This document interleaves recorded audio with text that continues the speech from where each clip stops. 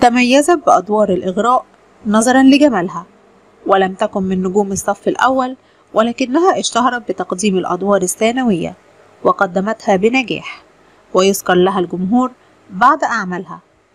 ابتعدت عن الساحة الفنية فترة طويلة وطالتها الشائعات ولكنها ظهرت مؤخرا وتحدثت عن كل شيء يخص حياتها الغامضة. إنها الفنانة سميرة صدقي. اسمها الحقيقي سميرة عبد المقصود صدقي واشتهرت فنيا باسم سميرة صدقي. ولدت في 22 يونيو عام 1960 في مدينة الأسكندرية لأسرة فنية. فالأب هو الفنان عبد المقصود صدقي. كما أن والدتها كانت ممثلة مسرحية في السابق وتخرجت من كلية الآداب جامعة الأسكندرية. والدها هو الفنان الراحل عبد المقصود صدقي الذي كان يدير فرقة مسرحية وكانت تربطه علاقة صداقة بكبار النجوم والمخرجين فكان الطريق ممهدا للفنانة سميرة صدقي لتحترف الفن.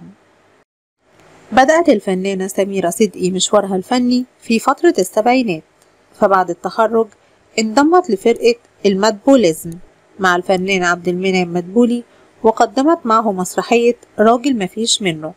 ثم مسرحية يا مالك قلبي بالمعروف. ثم قدمت أول مسلسل لها بعنوان الشاطئ المهجور والذي تم عرضه في عام 1975 شاركت الفنانة سميرة صدقي في العديد من الأعمال البارزة واشتهرت بالأدوار الثانوية أو الأدوار المساعدة.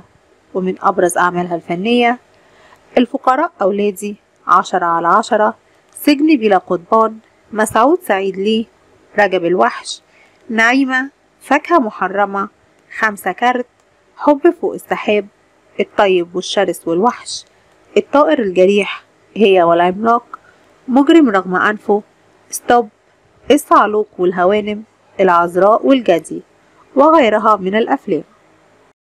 كما قدمت الفنانة سميرة صدقي للدراما التلفزيونية الفجر الأخير واللص الظريف وغيرها من الأعمال. بالإضافة إلى مشاركتها في أعمال مسرحية مثل إحنا شباب الديسكو.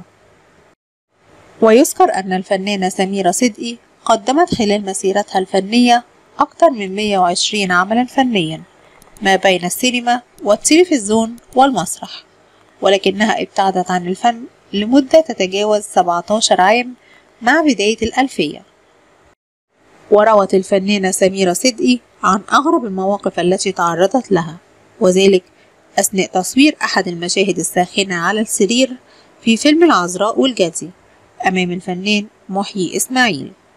وفي كواليس التصوير فوجئت به يحضنها بقوة بعيدا عن التصوير لكنها هربت واستمرت في الصراخ ورفضت التصوير مذهولة من تحول المشهد إلى حقيقة.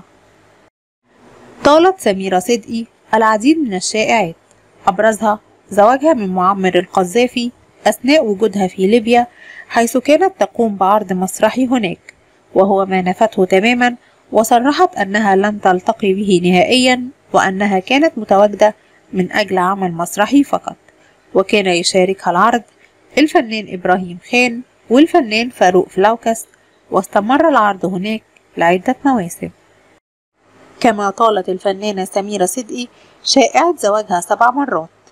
مرة من منتج أردني وشائعة أخرى بزواجها من شقيق الفنان الراحل محمد نجم الشاعر الغنائي نجيب نجم وهو ما نفته أيضا.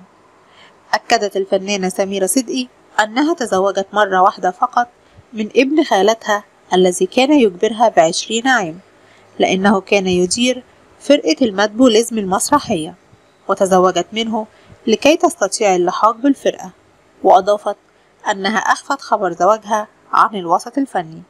وكان هناك معجبين يأتون لكي يطلبوا يدها من زوجها حيث كانوا يعتقدون أنه ابن خالتها فقط. ولم تعلن الزواج إلا أثناء فترة الحمل في ابنتها مريم كما أنجبت منه ولد. تحدثت الفنانة سميرة صدقي عن سبب ابتعادها عن الساحة الفنية لمدة طويلة تجاوزت السبعتاشر عام.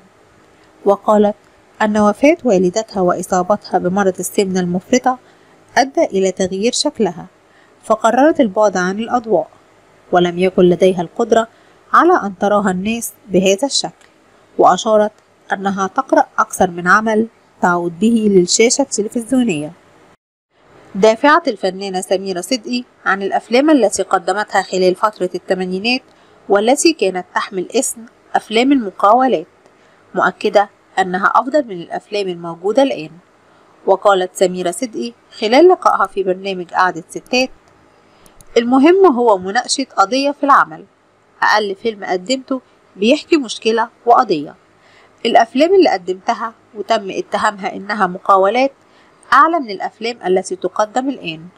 ولا أقصد الأفلام التي يكون لها عروض ويشارك فيها نجوم مثل أحمد السقا. لكن هناك أفلام ليس بها مواضيع.